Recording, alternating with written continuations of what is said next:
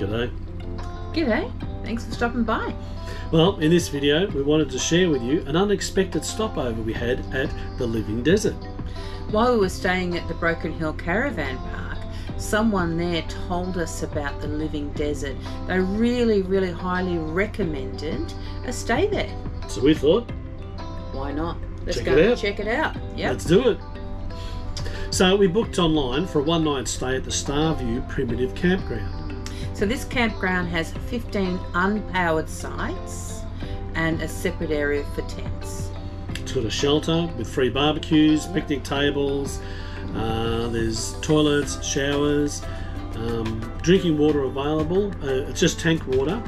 So for us, we, we actually filled up one of our tanks and took water in with us um, for use there. And um, so there's no water hookup. Was No water hookup? Nope. No. nope. So access to the campground is via a PIN code. So this PIN code is sent to you after you book via an email, a reply email. There's a maximum of five nights stay. Yep. And there's no pets or fires allowed. No. So there's a couple of restrictions, but I tell you, it was, it was still worth it. It was worth the visit, wasn't it? Most definitely. Hmm. Come and join us, and we'll check out the Starview Primitive Campground. And the living desert. Yay! Let's go. To get to the Living Desert, you travel out of Broken Hill along Nine Mile Road to the turnoff. It's well signposted, so you shouldn't miss it.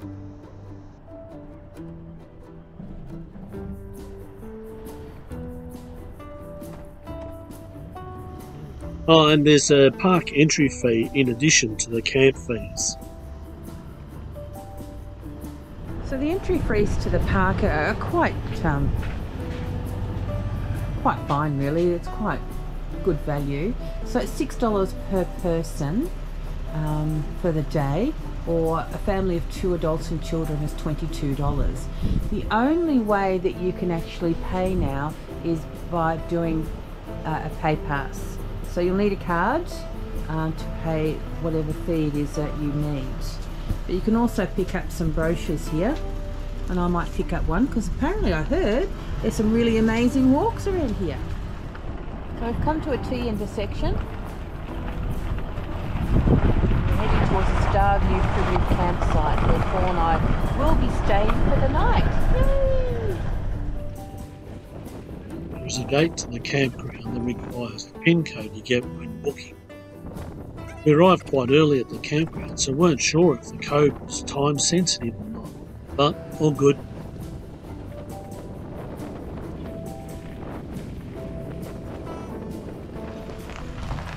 Time to check out my backing skills. That'll do it.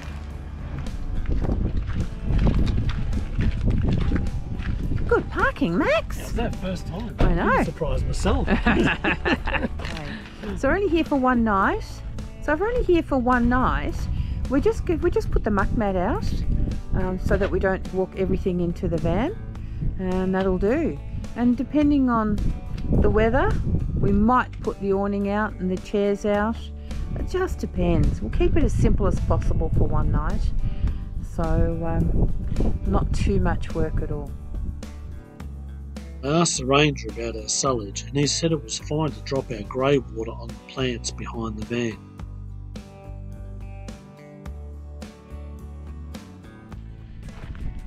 Twelve kilometres out of Broken Hill is the Living Desert State Park. Now it's got uh, quite a few walks here. There's a cultural walk, there's a flora and fauna walk, and there's a sculptures walk. So we're going to spend our day, day travelling around here and just having a bit of a look and see these trails. Oh wow, look at this pole, all these beautiful flowers in a desert. I was speaking to the ranger this morning, and he said that this is the greenest he has ever seen this place. It hardly resembles a desert. A lot of, lot of rain been through though, eh? Right, so the first part of the walk, this is what we encounter. The recent rains have washed away a bit of it by the looks of it. Some steps up through the tree. The first part of the walk was all about the native flora. Trail was a mixture of surfaces, from gravel to pavers and everything in between. Places you get a bit of um, concrete and rock. Alright, cultural walking trail, arboretum, we'll go on the cultural walking trail. So, up here, Where are we going? Cultural. Place. it's found the shelter.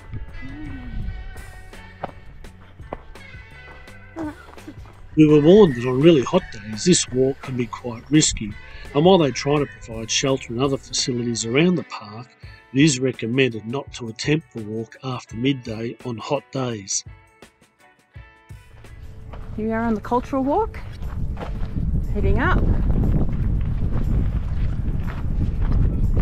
See, you know if you can see the car down there. Just. But the walk's not too bad. It's all gravelled. Um, at the moment, it's even easier than the flora fauna walk. re- Walk really. Um, amazing views from up here. Brick path. I don't know if it's any easier to climb though, is it? Probably easier than what's underneath. Maybe.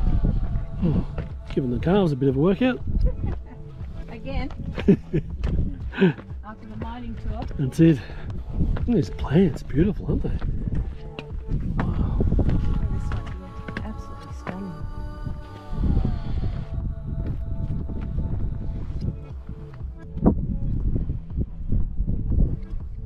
Just approaching what they call the viewing hide, where if we sit there quietly, apparently we can see some birds come around without them even noticing us. Let's go check it out. Oh, these are replicas of shelters used by the uh, local indigenous people.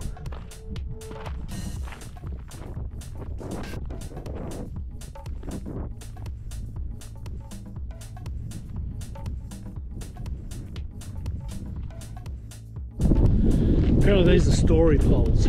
What can you tell me about them, Wen? Anything? These story poles, illustrated project completed by the Aboriginal Arts and Cultural Practices, Certificate 1 class of 2004. Contemporary interpretation means the students have accessible to their own culture, heritage and to the living desert, which is thus reinterpreted into the form of carved images onto the Red River gum poles.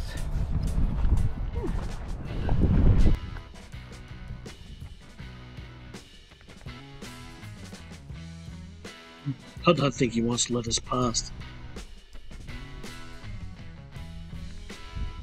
Next, we've got the scenic lookout. And it's all the way up there.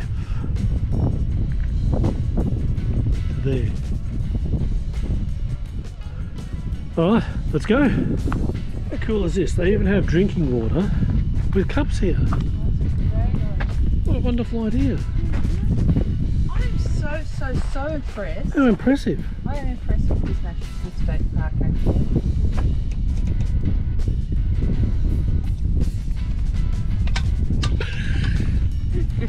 Oh, well, we might start that again. Oh, I'll put the video back on once when it gets correct together. I do I can't do it on my own. So we managed to work out the tap. There's water. Not bad actually. Very good. Alright, here we go. Ready for the climb.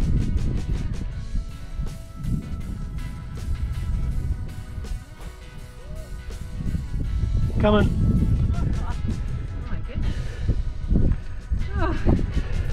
Calves. Breathing.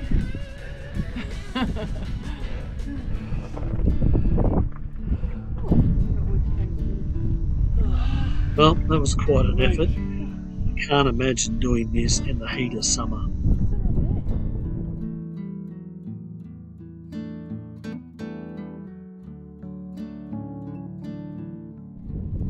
There's the shelter down there. And over here, hopefully I can. There's a car park. I don't know if you can see our car in the distance there. That's where we've walked. Fly just flew into my mouth. we swallowed about three. Now look at these. These are sturt peas. They're desert flowers. Beautiful. You don't see this on too many bushwalks. They actually have a loo.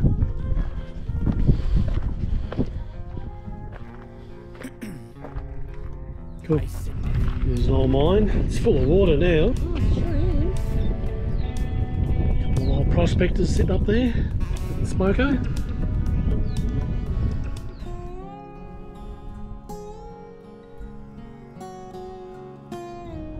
How nice is this? Yeah. Then you got this view. I know, and a seat. Yeah, so good. So good. I'm so impressed with this place. Another one of the attractions here at the Living Desert uh, are these Broken Hill sculptures. Okay. But look at this pop. The gate closes at 8 pm, so it, apparently these sculptures are great during the day, but they're magnificent during sunset. So hopefully we can come back here at sunset Yeah, check them out. Yeah. Oh, well, let's go have a look at them.